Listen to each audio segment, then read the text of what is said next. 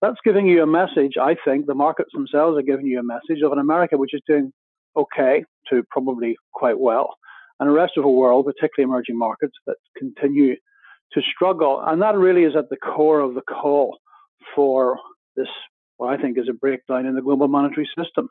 The world simply can't live with an America that grows this way. And what do I mean by that? What I mean by that is, at least at the moment, an America which is growing without